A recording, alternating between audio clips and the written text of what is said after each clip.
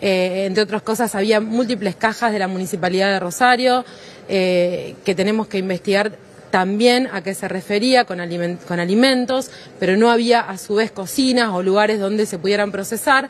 Todo es muy reciente, pero lo destacable es que se logró coordinar una gran cantidad de procedimientos.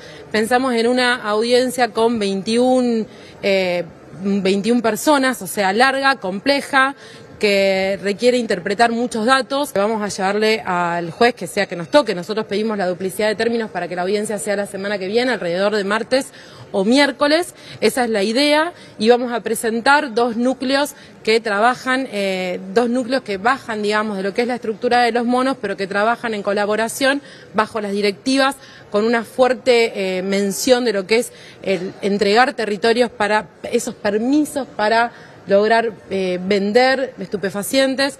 A raíz de eso también eh, vehículos eh, que están involucrados en los hechos.